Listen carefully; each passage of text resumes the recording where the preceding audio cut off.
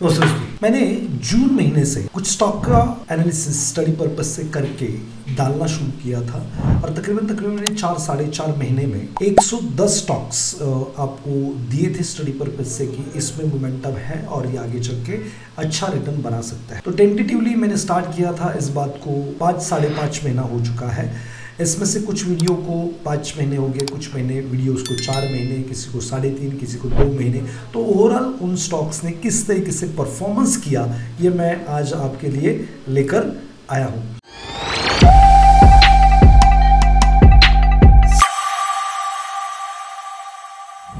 तो देखते हैं कि जून में मैंने छः छः दो हज़ार तेईस में एक वीडियो डाला था, जिसका लिंक मैंने हर वीडियो का इस वीडियो के नीचे दिया हुआ है। अब जाकर उस वीडियो को देख सकते हैं और स्टॉक ने किस तरीके से परफॉर्म किया, ये भी आप देख सकते हो।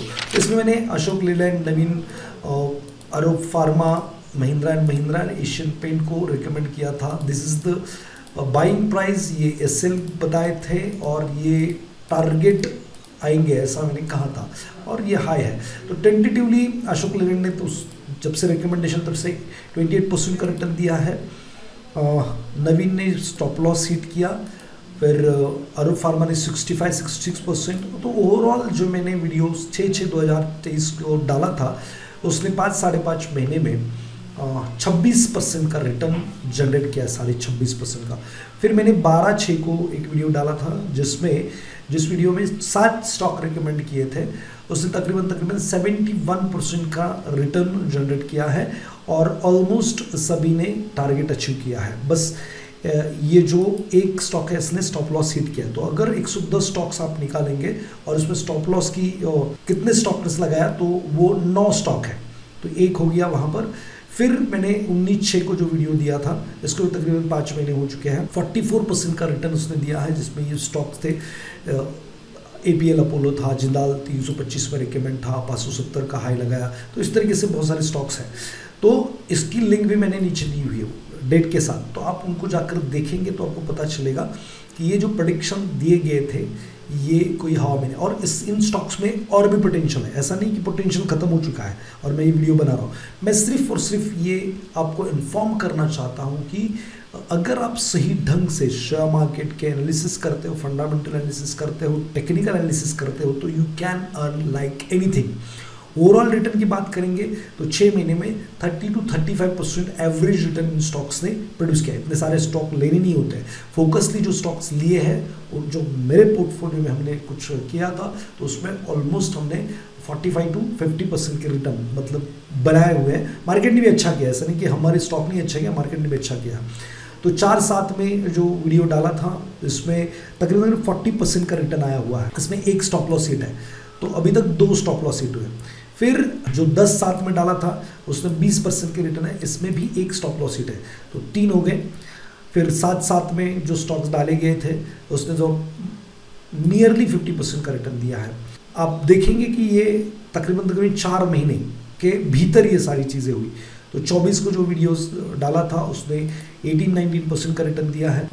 थर्टी वन जुलाई पे जो वीडियो डाला था, उसने 37 परसेंट का रिटर्न जनरेट किया है और एक स्टॉक आ गया यहाँ पर एस हिट किया लेकिन फिर भी 18 परसेंट का रिटर्न और सात आठ मतलब अभी बारह मंथ शुरू है तो चार महीने में इसने भी प्रोड्यूस किया है। फिर चौदह आठ की बात करते हैं तो उसने 40 परसेंट का रिटर्न जनरेट किया है, और उन सभी ने टारगेट अचीव किया है, और काफ़ी अच्छे पैसे बनाकर दिए हैं। फिर इक्कीस आठ की बात करें तो 35 परसेंट इसमें भी और कुछ स्टॉक्स ने टारगेट अचीव नहीं किया इसमें। अट्ठाईस आठ के 15 परसेंट अब ये जो स्टॉक्स हमने बताए हैं, हमें ऐसा लगता था कि यहाँ से ये ग्रो करेंगे, उन्होंने ग्रो भी किया है।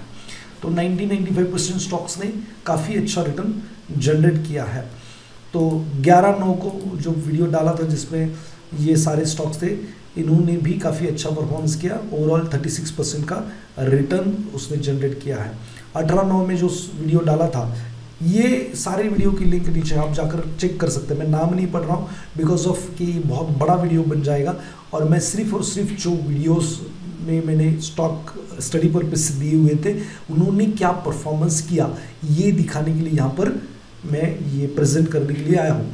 तो सी डी एस एल को तेरह सौ फोर्टी फोर में बताया गया था, उन्नीस सौ दो हज़ार के आसपास C D S L trade कर रहा है, फिर आगे बढ़ते हैं। उससे भी ज़्यादा शायद गया है, देखा नहीं मैंने।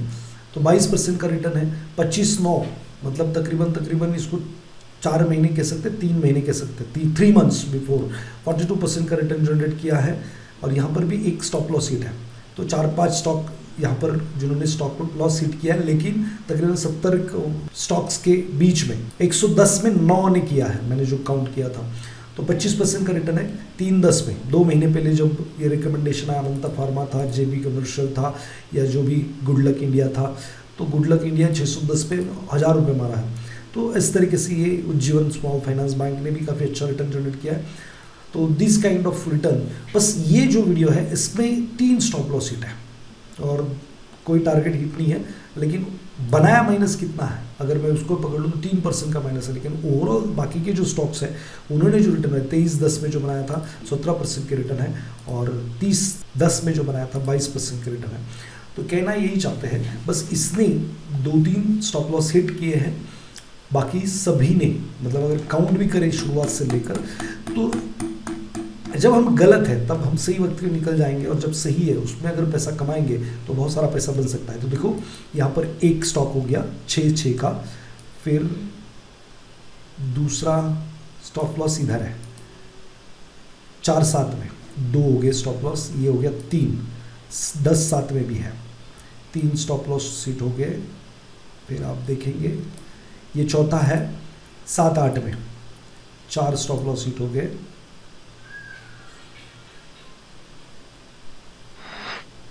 ये पाँच है। पच्चीस नौ में। पाँच छ सात और आठ। और ये यहाँ पर एक है नौ। तो नौ स्टॉप लॉस हिट है कुल मिला के। और टोटल स्टॉक्स की अगर बात की जाए तो 110 स्टॉक है। अब गिन ले फास्ट तो ये है तीन और दो पाँच। पाँच और ये सात, बारह। बारह और ये छः अठारह, फिर से छः चौबीस, फिर से पाँच, उनतीस, फिर से पाँच, चौंतीस, फिर से छः चालीस, फिर से पाँच,